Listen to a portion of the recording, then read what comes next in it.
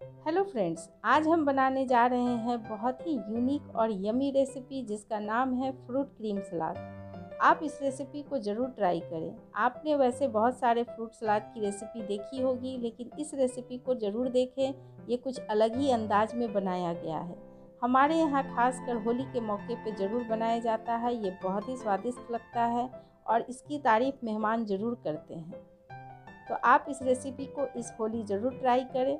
तो चलिए शुरू करते देख लेते हैं तो 100 ग्राम यहाँ पे हमने अंगूर लिया है, दो नारंगी, दो सेब और चार से पाँच पके हुए केले।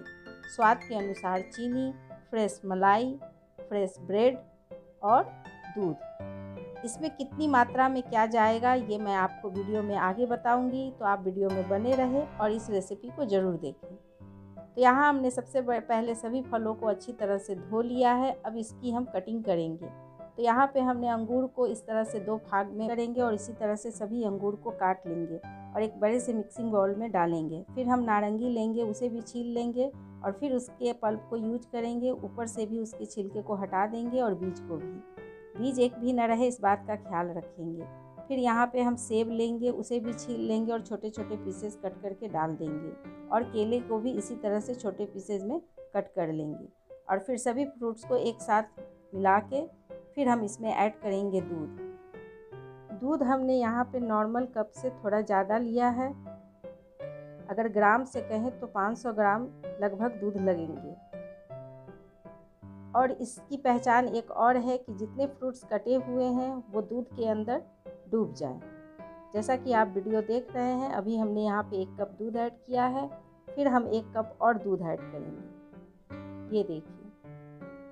सारे फ्रूट्स दूध के अंदर चले गए हैं, यही मात्रा में दूध जाएगा। न ज़्यादा, न कम, नहीं तो पतले हो सकते हैं आपके फ्रूट सलाद अब हम इसमें ऐड करेंगे फ्रेश ब्रेड यहाँ पे हमने इतने में छः ब्रेड का इस्तेमाल किया है। अगर आपको थोड़ा पतला लगता हो तो आप एक दो ब्रेड ज़्यादा भी डाल सकते हैं, नहीं तो इतने मात्रा के लिए छः ब्रेड काफ़ी है।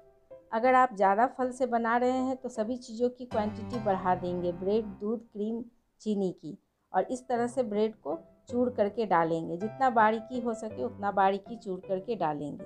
अब ऐड करेंगे चीनी। तो चीनी अपने स्वाद के अनुसार से कम या ज़्यादा भी कर सकते हैं। हमने यहाँ पे पाँच से छः चम्मच मिलाया है। जो चीनी नहीं खाते हैं या जिन्हें नहीं खाना है, वो बिना चीनी के भी बना सकते हैं। बिना चीनी के भी ये काफ़ी यमी लगता है। अब इसमें फाइनली ऐड करेंगे क्रीम। तो यहाँ हमने अमूल का फ्रेश क्रीम यूज़ किया है, जो लगभग 250 सौ है। यहाँ मैं बताना भूल गई थी, दूध को आप बॉयल करके, ठंडा करके तब ये यूज़ करें। अब इसे हम दो घंटे के लिए फ्रिज में रख देंगे और फिर ठंडा ठंडा सर्व करेंगे। तो ये लीजिए। मेरा फ्रूट सलाद बनकर तैयार हो चुका, काफ़ी यमी और डिलीशियस आप इसे फ्रिज में रख के दो दिन तक इस्तेमाल कर सकते हैं। तो आप इस रेसिपी को बनाइए, खाइए और अपने अनुभव ज़रूर शेयर कीजिए। वीडियो पसंद आया हो तो प्लीज़ लाइक करना बिल्कुल ना भूलिए। नए हैं तो सब्सक्राइब कीजिए।